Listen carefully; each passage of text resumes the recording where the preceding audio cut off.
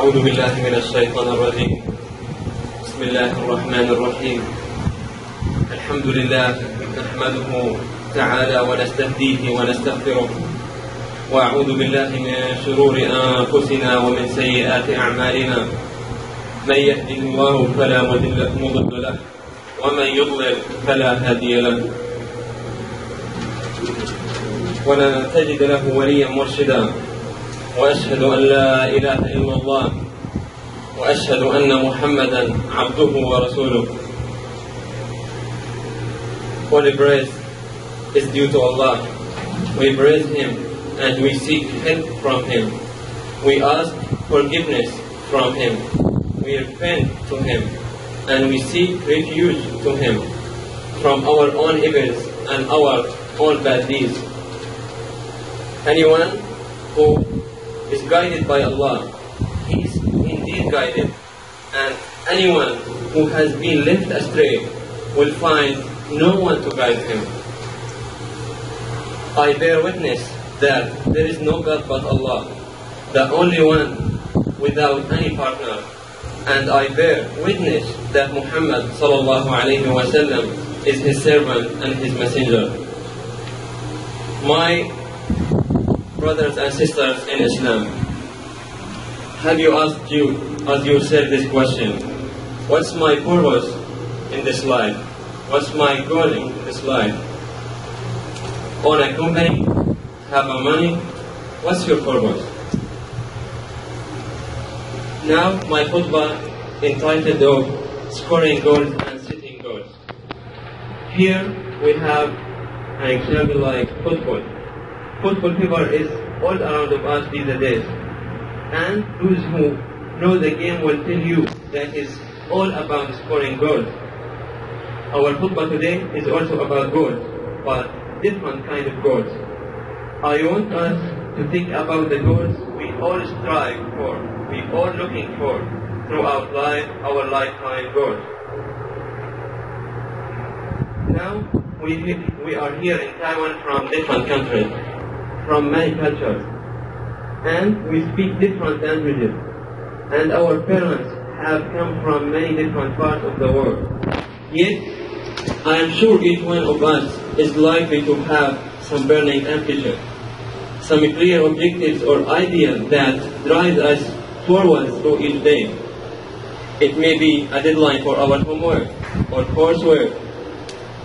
It may be a forthcoming exam or taekwondo, karate, grading session, or maybe working towards a particular career that we want to first after leaving school. Maybe after leaving school, we are looking to find a job or something. Consciously or subconsciously, we all have short-term, medium or long-term goals, which we hope to achieve before our life is over.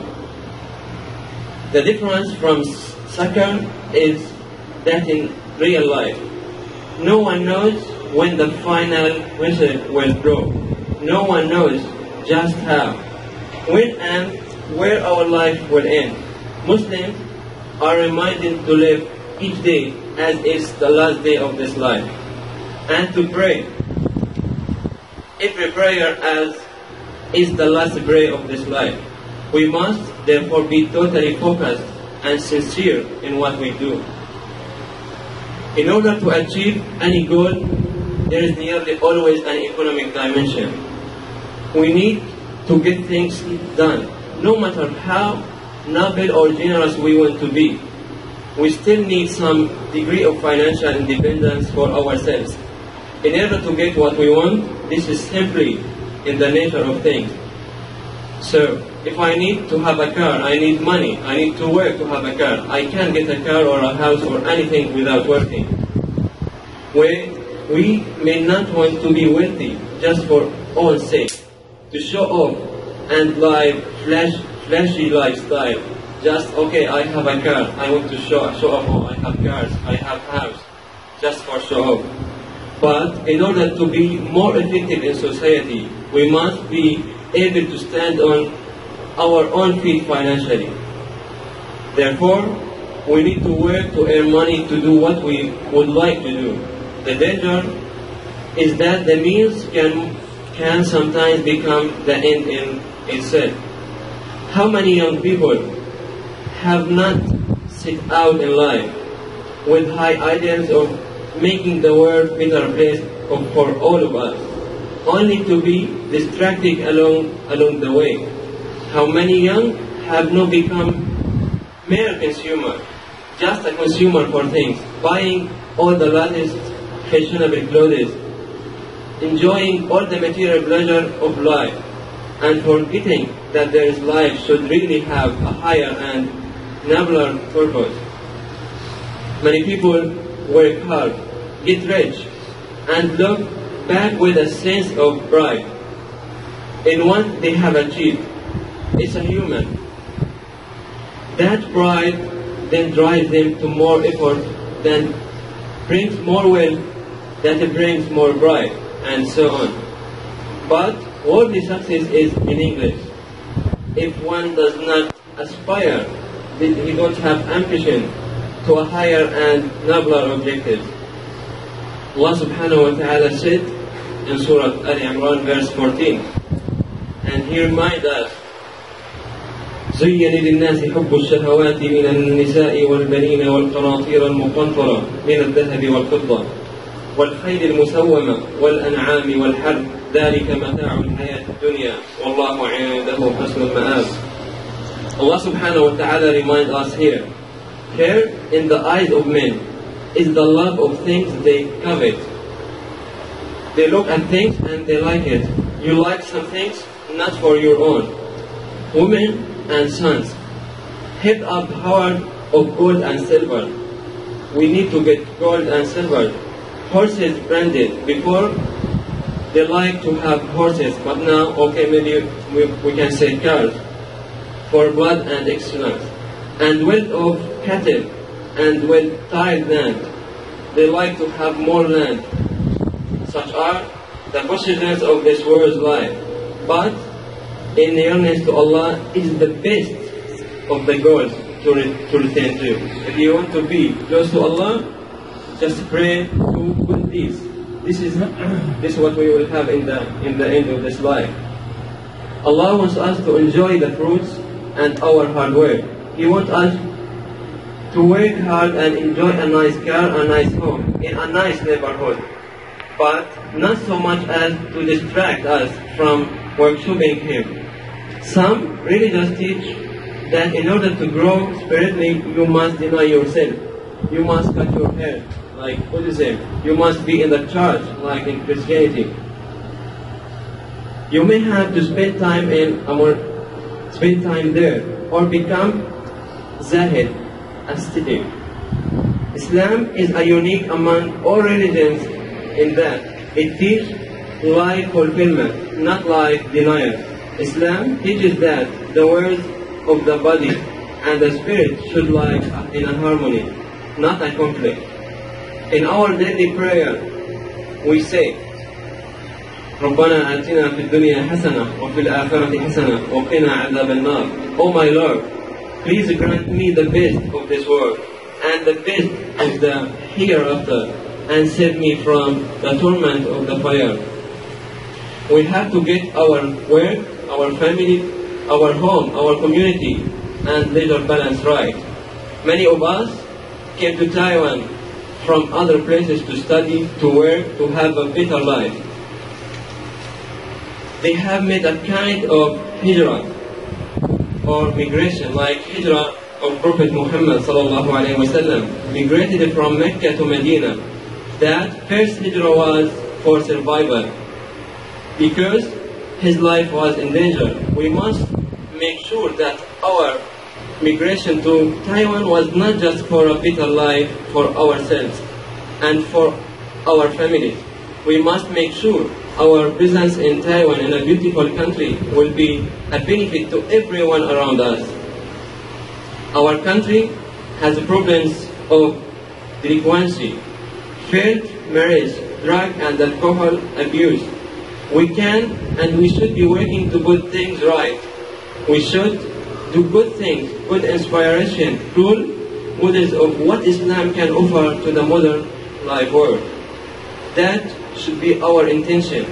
One hadith narrated by Sayyidina Umar ibn Khattab says, إنما الأعمال بالنيات وإنما لكل امرئ ما نوى فمن كانت هجرته إلى الله ورسوله هجرته إلى الله ورسوله ومن كانت هجرته إلى دنيا يصيبها أو امرأة ينكحها فهجرته إلى ما هاجر إليه The meaning of this hadith, actions are judged by their intention and everyone shall have only what he intended. Therefore, he who, who migrated for Allah and His Messenger, his migration was for Allah and His Messenger. And he whose migration was to achieve some worldly benefit or to take some woman in marriage, his migration will be judged that for which he intended. My dear brothers and sisters, let us dedicate ourselves to the service of Allah. Whether we came here to study, to work, to run a business, or to enjoy a better life in general, let us make sure that our daily concerns only focus on improving our spiritual life, make the hijrah, the migration, from what pleases us to what pleases Allah. It means, in essence, that we must aim to rise above our selfishness, our vanity, and self just care about ourselves. We must try to fulfill to fulfill the purpose which Allah decreed for us, which Allah drew for us, which is to be His Khalifa, His ambassador on, on, uh, on life. إن الله وملائكته يصلون على النبي. يا أيها الذين آمنوا صلوا عليه وسلموا تسليما. اللهم صل على محمد وعلى آل محمد كما صليت على إبراهيم وعلى آل إبراهيم. وبارك على محمد وعلى آل محمد كما باركت على إبراهيم وعلى آل إبراهيم. العالمين إنك حميد مجيد وأستغفر الله لي ولكم فاستغفروه سبحان الله والحمد لله ولا حول ولا قوة إلا بالله العلي العظيم All glory is for Allah. All praise is for Allah. There is no power and no strength except from Allah. Dear brothers and sisters, let us all try to make our goals in life well balanced and pleasing to Allah Azza wa Jal. Allah told His angels that He created us so that we can be His ambassadors on this life, on this earth. Remember, you are all ambassadors, Khalifa of Islam. As young students, your immediate goal is to do well at school, so that you can do in life generally after you leave school. All the time you are being observed by others, and your behavior is how people will judge all Muslims. Here you don't represent yourself, you present your country, you present Islam. If you do something wrong, this, oh, that's Muslim. I think all the Muslims will do the same thing. So here you don't represent yourself, you present your country, you present Islam. So try to show how beautiful the Islam is. Here are a few tips to bear in mind. Islam teaches purity and cleaning in body, mind and spirit. Summer is coming. The days are hot. We all sweat and it can be not good to be near someone whose body or clothes are not clean. Make sure always have a bath or shower every day and wear clean clothes every day. Islam teaches excellence. Don't be satisfied with mediocrity, just a medium. Just giving your minimum effort and getting average results. Prophet Muhammad wasallam and his noble companions, the Sahaba, were not average people. They strive, they're looking for to be excellent human beings. They became role models for people throughout history. They were the best Khalifa for Islam. We must study their lives for inspiration. We must work hard and do well. We must try to be the best at what we do in school subjects, habits, or sport. Choose your friends wisely. Avoid bad company. And do not be shy about being different. Prophet Muhammad said, If you spend 40 days in someone's company, you became like you become like him. Make sure you spend time with people who are a good influence on you. I will end this khutbah with a dua to Allah subhanahu wa ta'ala. Oh my Lord, do not let us, do not let our hearts deviate from the truth now that we have been guided, but grant us mercy from your very presence, for you are the giver of khairat, of good deeds, of good things without measure. ربنا لا تزغ قلوبنا بعد أن هديتنا. واهدنا وآتنا من لدنك رحمة. إن الله وملائكته يصلون على النبي. يا أيها الذين آمنوا صلوا عليه وسلموا تسليما. اللهم تقبل دعاءنا واغفر لنا. اللهم تقبل منا أعمالنا في هذا الشهر الكريم. ربنا إنك إنك تغفر الذنوب فاغفر لنا ذنوبنا في هذا الشهر العظيم. وآخر دعوانا أن الحمد لله. por Ángel